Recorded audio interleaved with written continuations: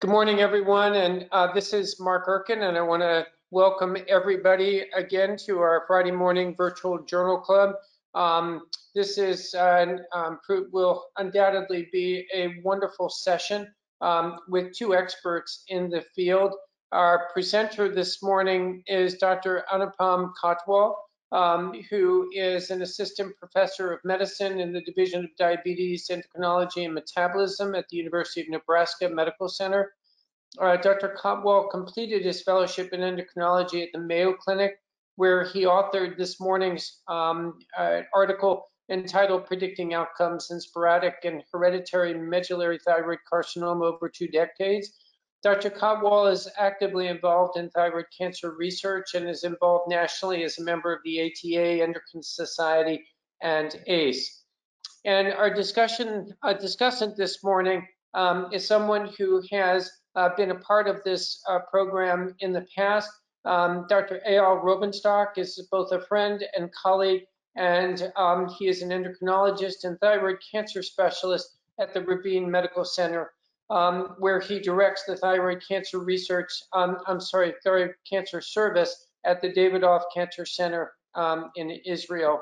Dr. Robenshtok did his training in Israel and then traveled to the US to, the US to complete a thyroid cancer fellowship at Memorial Sloan Kettering Cancer Center.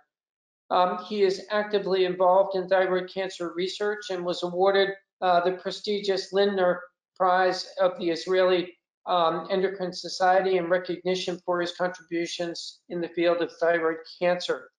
And with that, um, I, I, again want to welcome our panelists and um, encourage everyone to uh, enter questions, which I will try to get to by the end of the hour. Um, so, um, gentlemen, thank you very much. And Anupam, um, you have uh, you have the platform here. Okay, um, thank you, and um, um, thank you for this opportunity to present our study here. Um, the study was performed at Mayo Clinic where during my fellowship um, there a couple of years ago, and um, the senior author is Dr. M. Regina Castro. So I'm going to start here. I have no conflicts of interest pertaining to this presentation. Now, uh, medullary thyroid cancer, we know, is associated with significant morbidity and mortality, especially in the advanced cases. Classically, older age and the stage at the time of diagnosis have been shown to be the strongest predictors of poor prognosis of medullary thyroid cancer or MTC. Our group at Mayo Clinic previously has shown in 65 MTC patients who were followed from 1946 to 1970 that a higher stage was also a strong predictor for worse overall survival.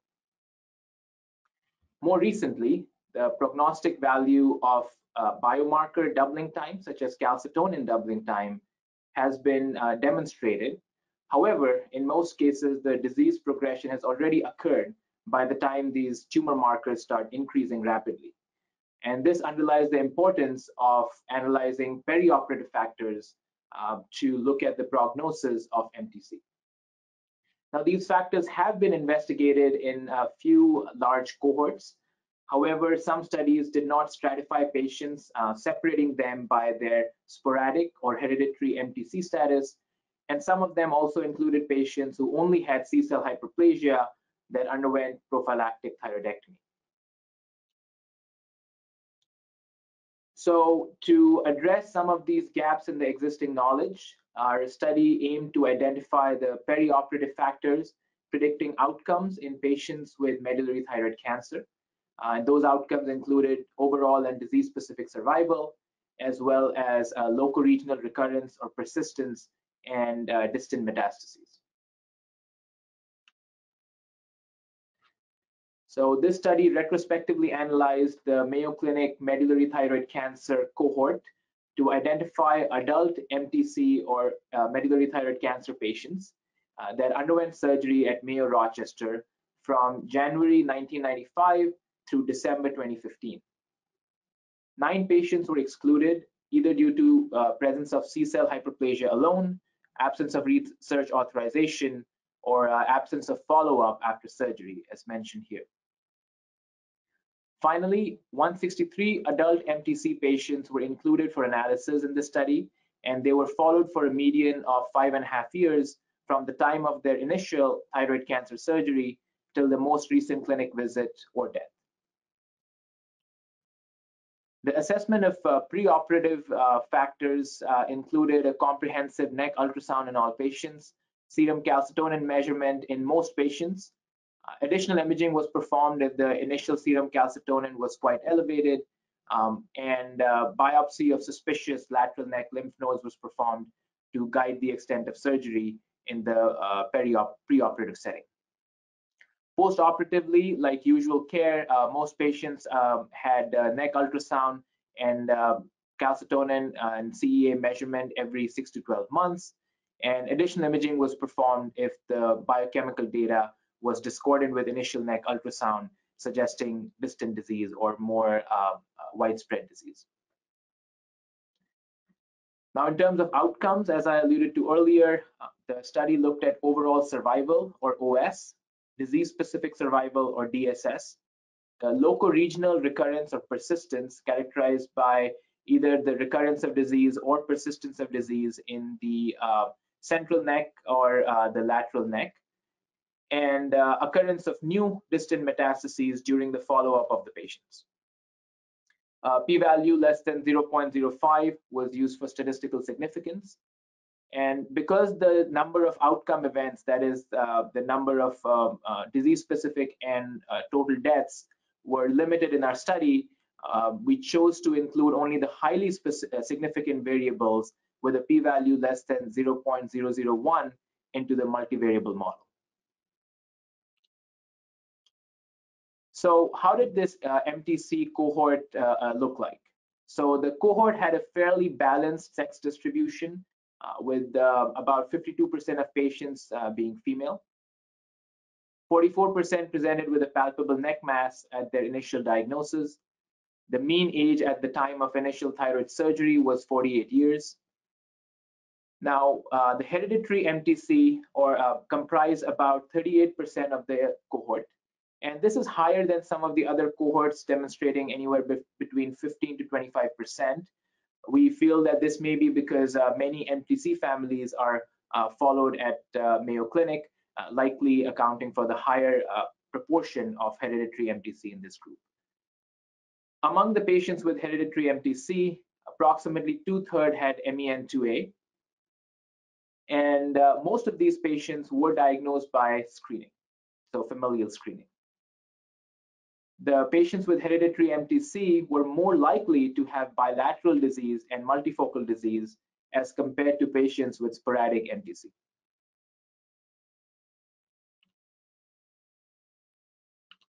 The majority of patients presented either with a stage one or stage one, stage four MTC, uh, like shown here in the pie chart.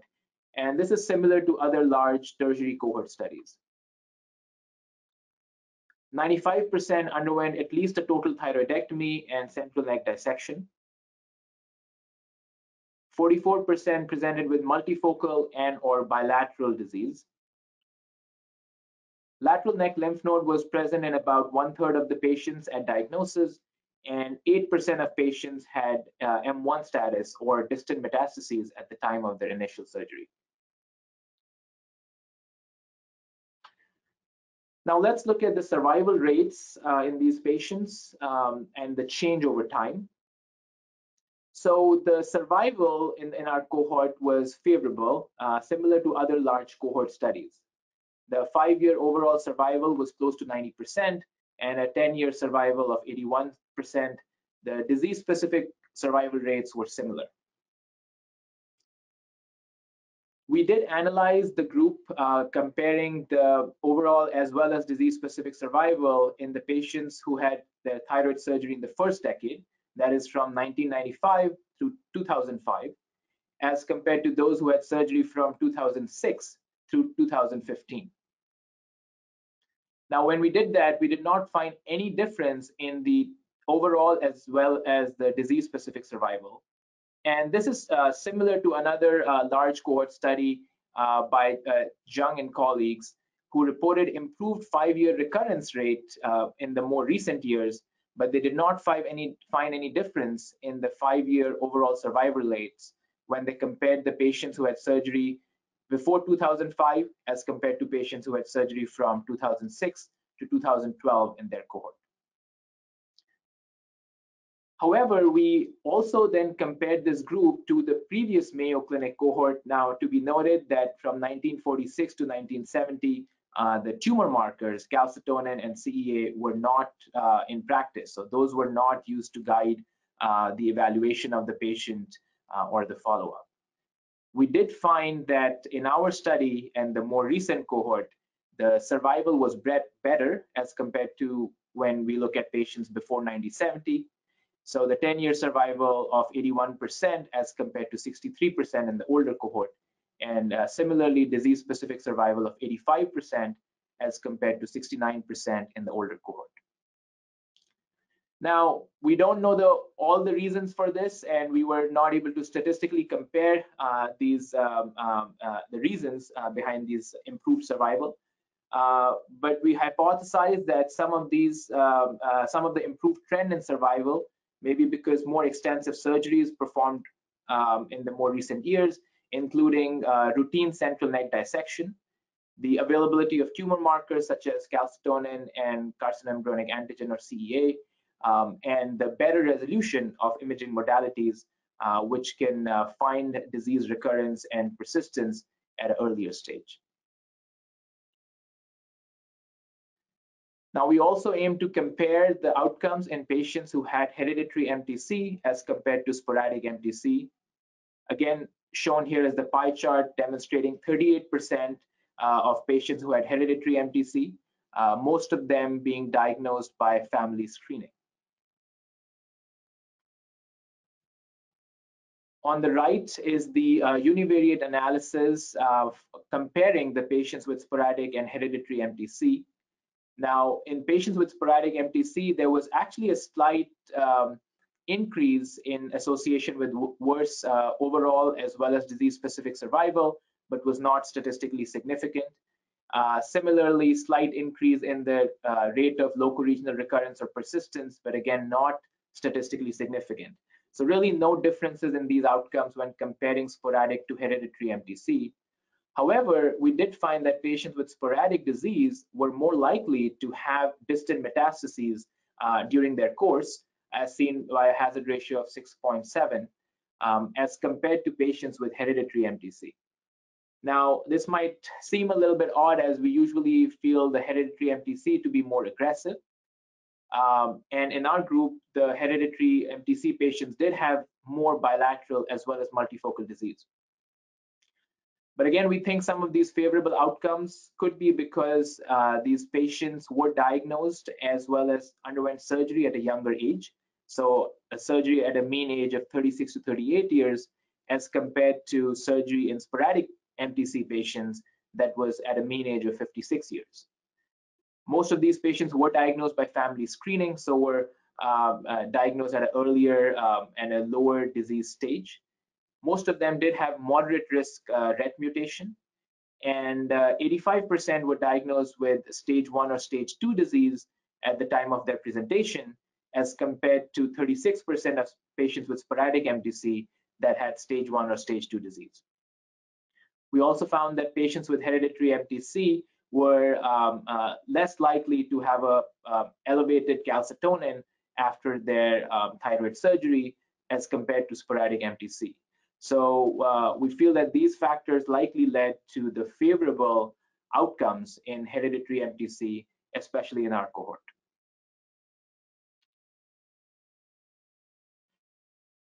Now let's look at some of the predictors for overall survival and disease-specific survival. In total, there were 28 deaths and 18 were considered to be uh, specific to uh, the, the medullary thyroid cancer, most of these in the setting of distant metastases.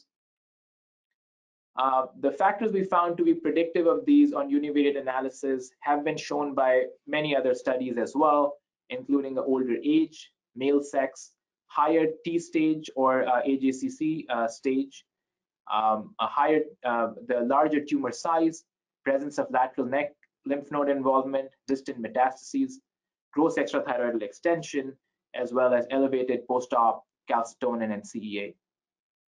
The number of lymph nodes involved and the post-op uh, CEA was only uh, predictive of worse overall survival, but not linked to uh, worse disease-specific survival. Again, this could be due to the limited number of events um, in our study. Interestingly, we did not find that uh, the presence of multifocal disease, so multiple foci of MTC in the same lobe, or bilateral disease, so presence of MTC in both the right and the left lobe of the thyroid, to be associated with worse overall or disease-specific survival.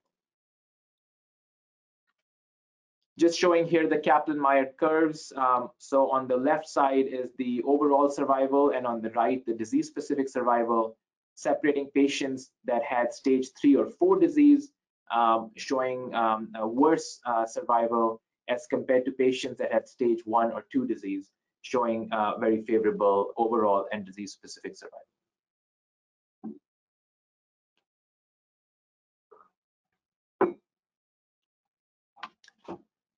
Now let's look at the local regional recurrence or persistence, as well as uh, the occurrence of distant metastases during the course of follow-up in these patients. In total, there were 16 patients who had local regional disease during their follow-up, and 25 had uh, presence of distant metastases. On univariate analysis, the factors here um, are similar to those that were predictive for worse uh, survival rates. Uh, we did find that postoperative calcitonin uh, level was very strongly associated with uh, the presence of local regional disease or distant metastases, um, and it's not surprising here uh, uh, the, the association. We did find that age, more than 55 years, and the ratio of calcitonin to CEA were in addition predictive of uh, the occurrence of distant metastases during the course of these patients. And again, we did not find multifocality or bilaterality to be associated with um, uh, these worse outcomes here.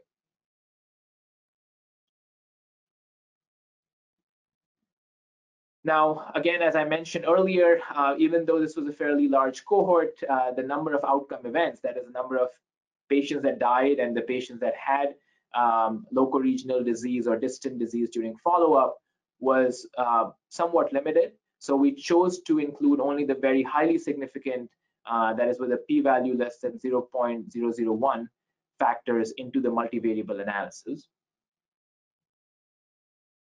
So just to summarize this table, uh, we found that gross extrathyroidal extension um, with a hazard ratio of 6.6 and uh, the presence of distant metastases at initial surgery, so M1 status, with a hazard ratio of 10.4, were the strongest predictors of disease-specific survival.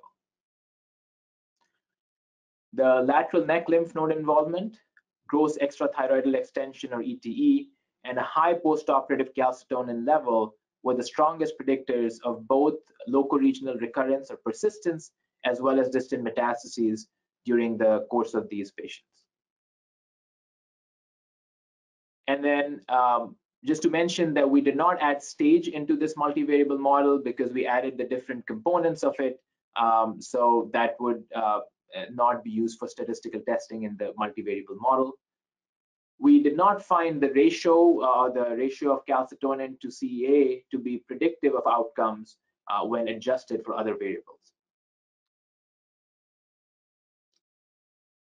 Now, just to highlight the uh, strongest predictors for a worse disease-specific survival in MTC, on the left is um, the uh, Kaplan-Meier curves for distant metastases. So um, the patients who had M0 or who did not have distant metastases at initial uh, thyroid surgery had a 10-year disease-specific survival of 90%, uh, whereas those with distant metastases at initial surgery, M1 status, had a 10-year disease-specific survival of 28%. Similarly, gross extrathyroidal extension, the patients who uh, did not have this at initial presentation had a 10-year disease-specific survival more than 90%, whereas those with gross extrathyroidal extension of the tumor had a 10-year disease-specific survival of 45%.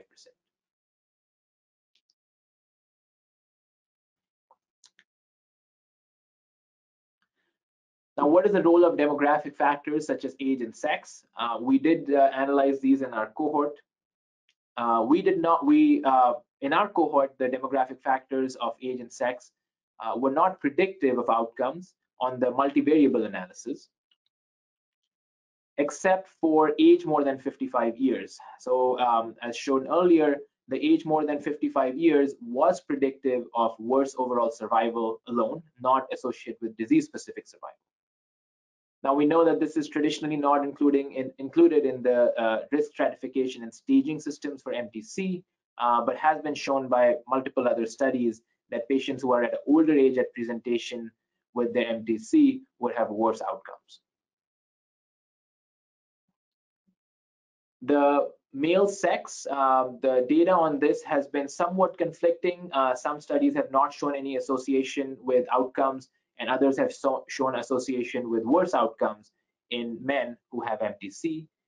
In our study, uh, male sex was associated with poor outcomes, but only on univariate analysis. So in our multivariable analysis, we looked at um, which variable was needed to be added for the male sex not to be associated with outcomes. And we found that uh, the uh, association between male sex and poor outcomes uh, uh, lost uh, statistical significance after adjusting for the post-op calcitonin value.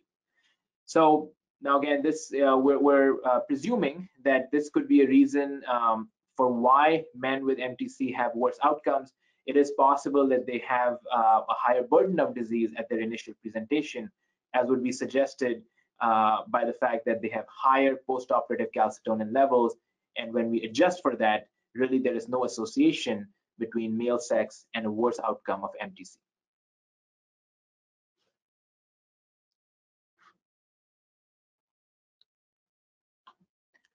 So um, just to go over the limitations of the study, and I again looked at our um, cohort and um, analyzed this again uh, just to make sure I wasn't missing any of the limitations more than what we already um, uh, wrote in the paper. So it's a retrospective chart review study. Um, and again, we were not able to collect any missing data on a prospective basis. Uh, the limited number of uh, outcome events, so the number of patients that were dying, the number of patients who were having local regional disease or distant metastases um, was limited. So we were able to look at some of the predictors for this, uh, but this did not allow us to look at the predictors for outcomes, uh, specifically within the hereditary uh, MTC group or the sporadic MTC group, um, or compare, say, the patients who had hereditary disease diagnosed by screening, uh, we think you know they would have better outcomes um, as compared to those who were diagnosed um, uh, by presentation either clinically or uh, radiologically. The limited number of events also did not allow us to do a more robust multivariable analysis and uh, again somewhat limited as to how many factors we included in our multivariable analysis. Uh, the data was collected from a tertiary referral center, so this would uh, uh, make it susceptible to a selection bias, as in there would be more patients with aggressive thyroid cancer. However, as we saw, uh, majority of the patients had either stage one disease, but the high proportion also had stage four disease. Uh, still, we found favorable outcomes in terms of the overall as well as disease-specific survival in this group. Now, the calcitonin and CEA doubling times have been demonstrated in, in studies to be um, associated with disease progression. Uh, those were not analyzed in this study, but again, there was not a focus of the study uh, with the aim of which was to look at the perioperative factors to really predict these outcomes even before waiting for the calcitonin and CEA to rapidly increase. And then another limitation which which I kind of think um, is there is the disease recurrence and persistence. Um, most of the patients who had local regional disease or distant metastases at follow-up did have elevated postoperative calcitonin. Uh, so for example, only two of the 16 patients with local regional disease at the last follow-up had a post-op calcitonin that was less than 10. So we feel that most of these are indeed persistence of disease rather than a true true recurrence and because of the limited number of events we could not compare uh, the patients who had a true recurrence, which would be very few as compared to th those who had persistence of disease that then just made itself more apparent during follow-up. But there are strengths here. Um, the management and close follow-up of patients uh, that occurred at a tertiary care center by a specialized team of uh, thyroidologists, oncologists, and thyroid surgeons um, is definitely a strength of the study. In addition, uh, the completeness of data in terms of the MTC characteristics, the genetic status, the post-op calcitonin testing, as well as the um, uh, the follow-up of these patients, median of about five and a half years, and only few patients excluded uh, due to not having enough follow-up, are also strengths of the study, which allows us to uh, be confident in the estimates of the um, uh, overall as well as disease-specific survival.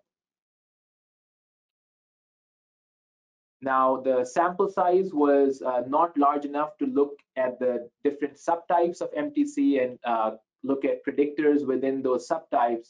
However, it was um, uh, large enough to give us enough power to evaluate the predictors for survival as well as disease recurrence or persistence um, in this cohort of MTC patients.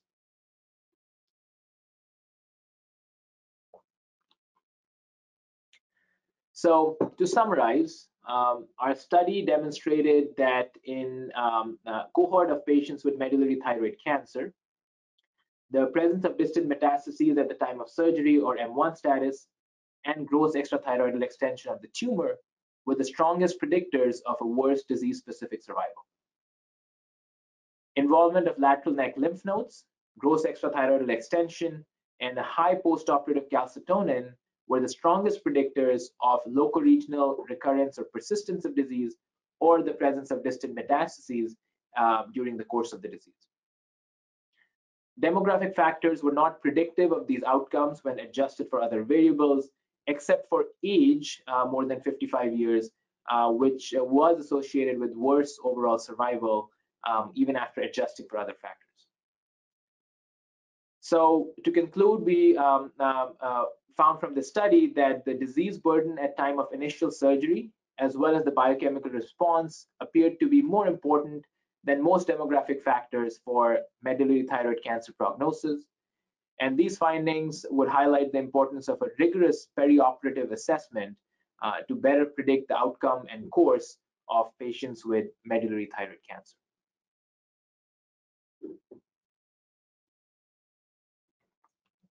And with that, I would like to thank the uh, uh, institutions that I've worked at and uh, the senior author on the study, Dr. Um, Castro. And um, thank you all for listening. Um, I am happy to take any questions.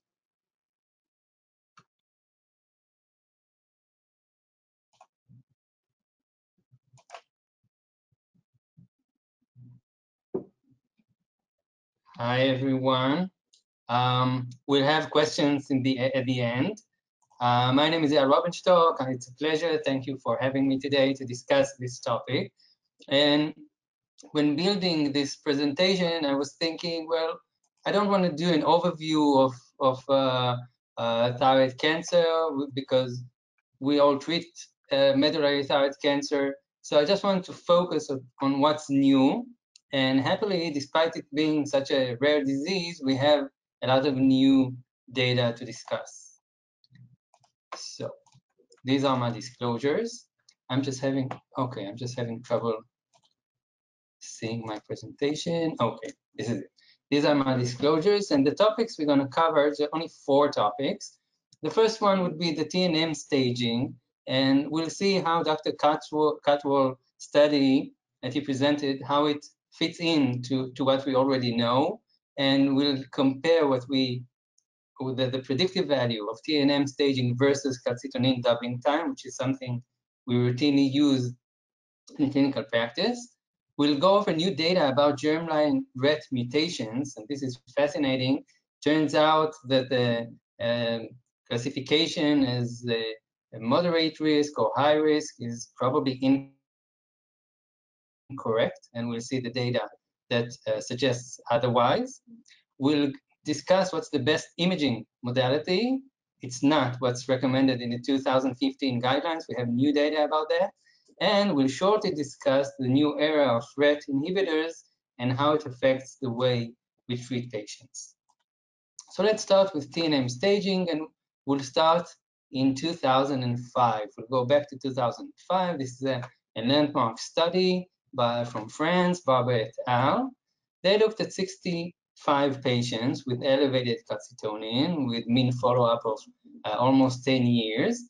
And at 10 years, 29% of patients died um, to, to assess the mortality rate using different tools. So what they used is the AJCC TNM classification. Back then it was the eighth, the sixth edition, and compared it to calcitonin doubling time. So here you see the TNM staging. They didn't have any stage one disease, only stage two, three, and four. And what you can see is that the lines of these three stages are not that far apart. So for example, if someone has stage three or stage four, um, they both had moderately bad um, prognosis, but it didn't really differentiate well between groups. However, when they looked at calcitonin doubling time, the lines are much more separated. So if the calcitonin doubling time was more than two years, at 10 years, the mortality rate was zero. If the calcitonin doubling time was less than 0.5, it was almost 100% mortality rate. And between six months and two years, it was uh, in between. We can look at the numbers here. So we want to look at the 10 years survival, this column. And if you look at the TNM staging, stage two, three, and four, you see that survival rate is different, but the distinction is not very strong.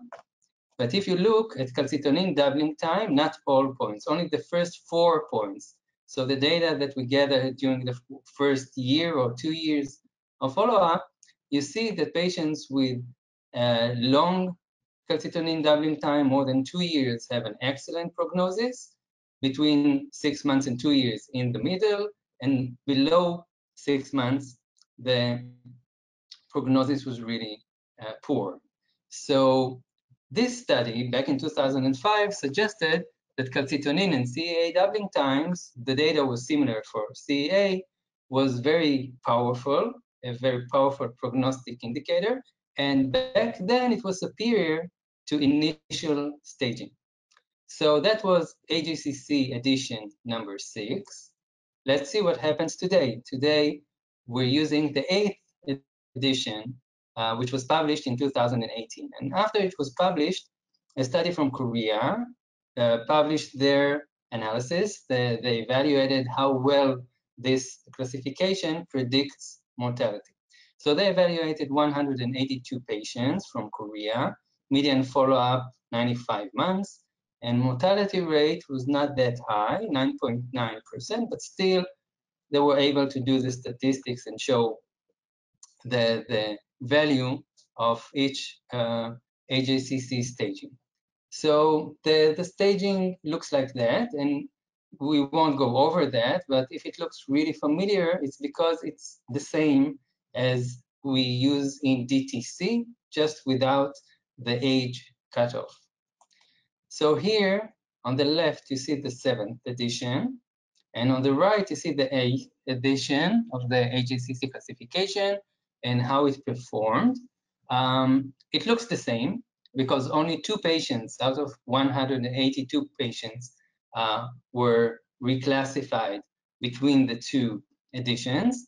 And it's interesting to say that the seventh edition was the same for DTC and medullary thyroid carcinoma.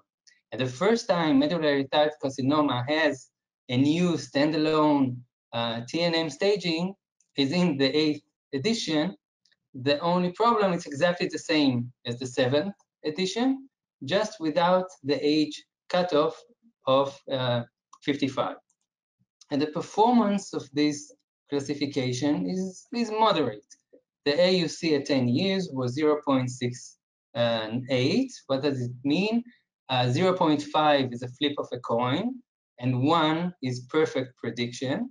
So 0.7 is what was was considered fair prediction. So we we need to do better. We want the staging, stage one, two, three, and four, to tell us how the patient is going to perform in the next 10 years. And it doesn't, it's not as good as we want it to be. Now, looking at the current study that we discussed today, Dr. Kotwal presented, has some very new, interesting data that will be able to, to be incorporated in the next AJCC guidelines to make staging better. So looking only at the multivariable analysis, they show that N1B was not a significant predictor of mortality after accounting for M1 disease. So it should be a pretty weak uh, component of upstaging classification. Patient had worse overall survival with gross extrathoracic extension, with metastatic disease, with increasing age over the age of 55, male and high calcitonin. Again, calcitonin was a very strong predictor here, not the, the doubling time that we discussed before, but rather the, the post-operative nadir of calcitonin. The worst disease-specific survival, these are the strongest predictors, were gross extrathoracic extension and M1 disease, and they should have a strong role in upgrading, upstaging patients uh, in the next um, AJCC classification. And here you see on the left the uh, gross extrathoracic extension, and on the right, M1 disease. So currently, the AJCC staging for medullary is a pretty weak tool, but studies like this and, and similar to this will be used to improve and, and make it a more predictive tool to use. As for today, we can discuss it at the end of the presentation. Maybe uh, doubling time is more predictive than the staging that we have. The second topic to discuss is RET testing. And we all use this uh, table from the 2015 MTC guidelines. I don't think anyone uh, remembers all the, the codons by heart, so we open it. And the different mutations are classified as moderate risk, high risk, and high yes risk. These are the meant to be patients. And the risk, the moderate and high risk is risk of aggressiveness of MTC. But in 2017, this study was published from the MD Anderson Cancer Center and look at what the heading says. Medullary thyroid carcinoma in, in MEN2A, ATA moderate or high risk RET mutations do not predict disease aggressiveness. So what, what is it all about? So this is from MD Anderson. They have a lot of patients, 125, seven patients with moderate risk disease, and 135 patients with high risk disease. These are the mutations. You can see that high risk was mostly three, uh, 634 codon mutations, and the moderate risk, we have multiple types of mutations. You don't need to go over this table. I just want to highlight this. The median age was different. So patients with high-risk disease, the age at presentation was 23, the median age, and moderate risk, the, uh, the age was higher at presentation, 42.3 years. So this is very statistically significant. If you look at the p-value column on the right, you see that most other features were pretty similar. I just want you to note that the T3 and T4 disease was a little more common in the moderate risk uh, group. So in the moderate risk at the presentation had slightly more aggressive disease, locally aggressive, but this could be again because of screening and, and selection bias. There was no difference in stage at presentation, at end stage at presentation or distant metastasis. So now on multivariable analysis for overall survival, the factors that were associated with increased mortality were increasing age, T3 or T4 tumor, and M M1 disease, distant metastasis. This is the same as the study that we've just heard. But high-risk mutations were not associated with worse overall survival or development of distant metastasis. So here you see the overall survival. The ones that did slightly better were the high-risk patients. And here, development of distant metastasis, again, the ones who did slightly better, the higher line is the high-risk group. So it seems that patients who have high-risk disease have presentation at a younger age, but they don't have more aggressive disease once diagnosed. So the conclusion of the study is that patients with high and moderate risk RET mutation have similar overall survival. So the guidelines need to be changed. And they suggest that future guidelines consider RET mutation classification by disease onset, early versus late, rather by risk of aggressiveness, high versus moderate. So this is very high quality data, very interesting data that for sure will change the classification of these mutations in the next MTA, MTC guidelines. So we've talked about staging, we've talked about new data about germline mutations. Now, what is the best imaging modality for patients with medullary thyroid carcinoma? If you look at the, the guidelines from 2015, you need to do if a patient has high calcitonin, you need to do an ultrasound and it's CT of the neck and, chest, uh, three-phase CT or contrast enhanced MRI of the liver, axial MRI, and bone scan. So you need to do all of these. And if you look at the next recommendation, they do not recommend using FDG or FDOPA PET CT. Now, this is no longer true. Let's just show for a minute how they came to these conclusions. So the study that guided these guidelines is from 2007 from Gustave Roussy, and they looked at 55 patients with elevated calcitonin, and they looked which uh, modality, which imaging modality detected which lesion. So for example, if you look at the neck, ultrasound detected the most. If you look at the mediastinum, CT was the best. Lungs, again, CT. Liver, MRI was the best. Bones, you needed both an MRI and a scan. So this is how they came to the conclusion that you need to use all of these modalities.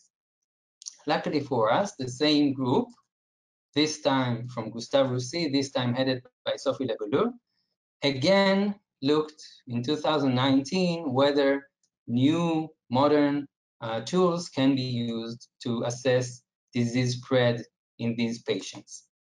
So they looked at 36 patients with a median calcitonin of 760, and they did an almost unbelievable amount of imaging for each patient. So each patient had a neck ultrasound, DOPA PET-CT, FDG PET-CT, whole body CT scan, whole body MRI, and bone scan.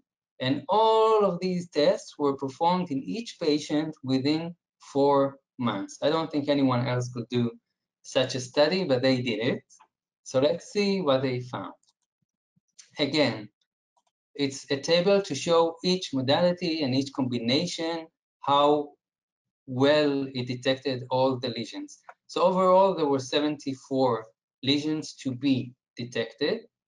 The best combination was F-DOPA plus MRI plus CT plus ultrasound, but going further deeper, going deeper, they saw that the CT was not required. So this combination detected all lesions. It sounds really good, but they caution, they, they, they put a word of caution about the DOPA PET in this context. The intensity of uptake in the lesions were pretty low as opposed to, to neuroendocrine tumors. And you need to use the early acquisition of, of uh, DOPA PET-CT, which detect, detected the most, and late acquisition was not as good. So the combination of DOPA PET in, in a place that is that is uh, has expertise in this type of tests in medullary thyroid carcinoma. So the combination of DOPA PET-CT with liver and MRI and neck ultrasound detected all 74 lesions and will now be probably in the next guidelines will be the preferred way to detect distant metastasis in MTC patients with high calcitonin. And the last couple of words about RET inhibitors. It is a new era in treating patients with uh, advanced uh, MTC. In 2020, last year, the FDA approved two drugs, two RET inhibitors, selpercatinib and pralsetinib.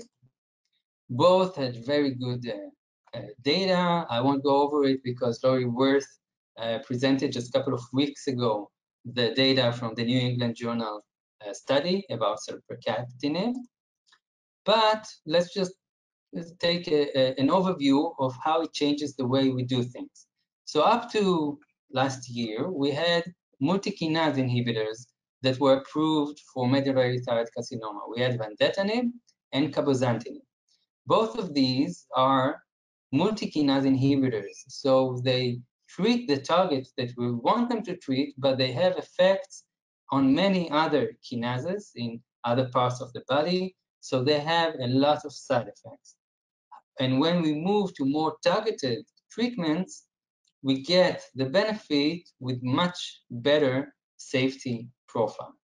So what we can say about the new RET inhibitors, they require sequencing. They require next generation sequencing. So if up to now, patients would come with advanced disease, we wanted to start systemic therapy, we would just start therapy. There was nothing, no uh, workup we had to do.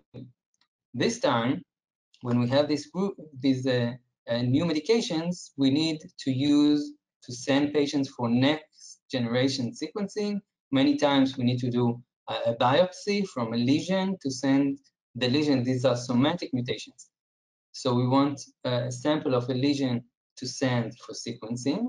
These uh, uh, medications are very effective with or without previous treatment with multikinase inhibitors. And this is very important. We have a lot of patients already on vandetanib or cabozantinib.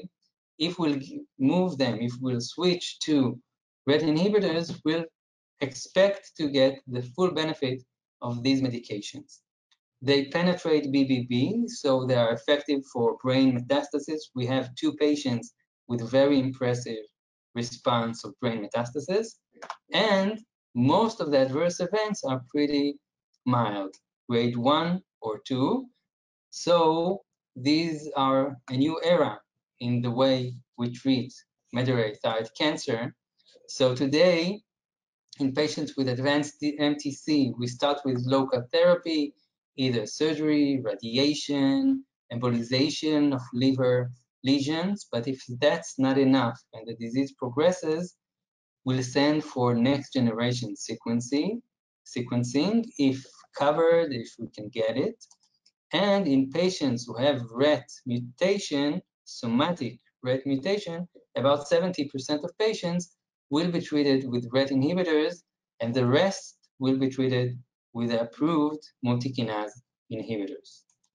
So in summary, we have, we have some progress in staging of MTC, and studies like we discussed today are a step forward in improving these staging system. Germline RET mutation in MEN2A should be classified based on age and not risk. And maybe it explains some of the data presented today that patients with MEN2A didn't have more aggressive uh, disease than sporadic, though this is a, a different question. Optimal imaging for high calcitonin, patients with high calcitonin, is DOPA PET-CT, liver MRI, and neck ultrasound. And in advanced disease, we would now send uh, specimens for NGS, and in patients who have RET mutations, we would use RET inhibitors. So as we can see, despite being a very rare disease, we have some significant progress in, in the last uh, couple of years since the last guidelines.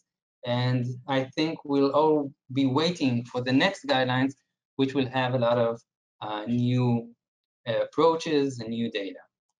Thank you. Terrific. Eyal, thank you um, for a wonderful discussion. And uh, Dr. Kotwal, thank you very much for a really stimulating uh, presentation of that data. Um, one of the things that, first of all, I'll give Dr. Kotwal an opportunity to um, respond to any of um, Dr. Robenshtok's comments here. Is there anything that in particular you'd like to uh, pick up on? Um, no, not nothing specific, but I uh, I appreciated how um, kind of um, you were talking about the staging and how the updates uh, to the next iteration of the staging can be made uh, based on this data, and really how like adjusting for the distant metastases. Once you do that, the the outcome is not at least the survival would not be predictive by by lateral neck lymph nodes. So um, yeah, thank you. Okay, great. So one of the things I'd like to um, um, ask and see if you can address um, the failure to see improvement in the two different decades under study um, during the um, uh, that were included in your data analysis. Um, and then where there was no significant difference in disease-specific survival based on decade. And then you did do sort of a, a, a comparison to an, a historical cohort from 1946 to 1970. Do you have any sense on comparative stage of presentation and um, whether or not duration of follow-up was comparable in those um, in your current versus your historical cohort? So yes, that's a that's a good question. We were not able to statistically compare the our cohort to the previous Mayo cohort because we did not have access to again was a different actually group altogether. Uh, we do not have access to all the individual patient data. So this is just showing that the uh, the numbers look better, uh, but and quite better. Um, the the follow-up was similar, was a little bit. I, I, think it was between three to five years for median overall um, uh, follow-up in the older cohort. Um, and again, was still a fairly complete data set, uh, but again, without any tumor marker uh, measurement at that time. So it did show there is improved survival, and that's kind of been shown uh, uh, in like general. We know there has been improved survival in MTC, uh, but we were not able to get into the specific of uh, the exact factors or actually use a statistical comparison there. Great. Okay. Thank you. Um, so you you commented on worse um, uh, that um, worse outcomes when the calcitonin nadir was less than, didn't achieve less than 10 um, picograms per ml. Um, can you comment on two different things? When is the earliest time in your protocol um, for both of you um, that you begin to search for uh, persistent disease? And um, uh, and what the likelihood of cure is when patients uh, do show persistence uh, after initial therapy. Maybe if you could both take up that those two topics here. Please, please start. Um, well, um, we usually kind of, you know, check the uh, cal serum calcitonin and see at the three to six month mark, and then um, less than 10, 10 is great. I think between the 10 to 100, 150, especially if it's staying stable, will probably not have distant disease. Um, and then more than that, we start evaluating for distant disease. Um, again, the doubling time and also this kind of um, ratio of calcitonin to CEA. So if the CEA is rising much more, maybe suggesting a dedifferentiated MTC there. Uh, but again, that's a little unclear data. Uh, but as long as it's stable and you know less than 100 or so, and there was significant improvement, uh, we mostly just look locally. Um, um, And if we don't find any disease and calcitonin remains stable, then unlikely to be distant disease there. I'm happy to hear what uh, Dr. Robenshtok's approach there. So we check for calcitonin a little earlier. First, I check usually within a month because there were some studies showing that if the calcitonin is undetectable, it's going to be undetectable within a month. And then at three months, we look to, we'll see the nadir probably at three months most of the time. And if we see the lower the calcitonin, the happier we are. But we always are want to wait um, some six months, one year, two years to see the doubling time because I, I, guess we all had patients who had high calcitonin that remained stable for years and years, and patients with low calcitonin just kept on rising and patients had severe disease. So obviously we look at all the the clinical data that we have. We, we know if someone has a very aggressive disease just to begin with, but um, just the calcitonin, we need some some time. We need to see the doubling time. Such a strong predictor that it's it's a bit complicated to explain to patients. I really know what what his status is going to be within a year or two years, but we we explain that within the big picture. And could you both comment a little bit on the likelihood of um, of, of benefiting uh, um, long-term survival through uh, attempts at salvage surgery when you identify local regional disease here? Do you have any data that would support, um, obviously, uh, eliminating um, for the fact that uh, local disease within the thyroid bed um, is something we all strive to um, to overcome. But in terms of nodal disease in the neck, um, uh, what what the benefits are of going back and reoperating in terms of um, longer term survival here? Please start. I, will let Dr. Robenshtok maybe give his input on this first. Okay. So it really depends on what's the overall status of the patient, if they have distant metastasis or not, if they have very high calcitonin or not.